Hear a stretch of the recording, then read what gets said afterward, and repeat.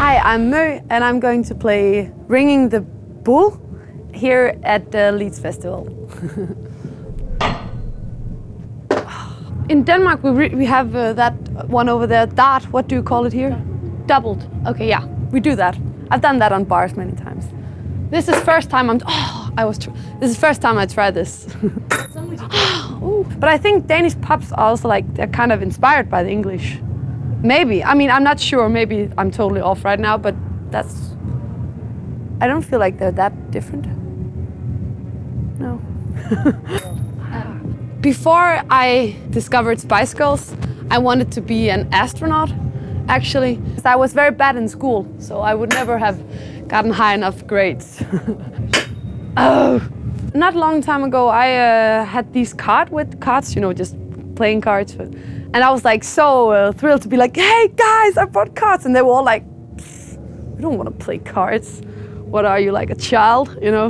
So no, we, I don't really play, like we all sit with our computers and make music. They don't really want to play cards with me and I don't understand why. I thought it was the best idea when I came, like, oh, come on. no, I'm a horrible loser. I, I, get, I get angry, like for real. At least when I play with my best friend, me, like she's my childhood friend, you know. I, I mean, I can't lose to her. I get so angry with her, I just want to slap her. oh, I hate it. I hate my life. The English festivals, they're, they're, more like wild in a way. And there's, I mean, there's so much power and energy like amongst the audience. And like the whole vibe is just a bit more, ah, which is very nice, you know. Uh, not to say that Danish people are boring, but it's just another, it's, it's a bit more like, hmm, yeah, you know, a bit more chilled at Danish festivals. But I, I think I like the English festivals better because it's more, I mean, it's, it's so intense in another way.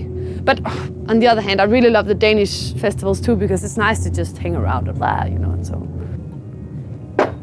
oh, to be honest, I don't think I'll get it because I'm too, now I'm too, I'm too upset with it, you know, so it's not gonna happen. It's like if you want to, you know, if you're in love with a guy and you want it too much, then you will, will never, ever get to him.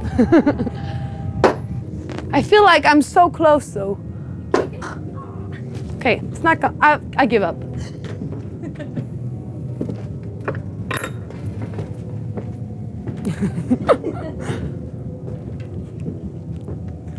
Damn bull.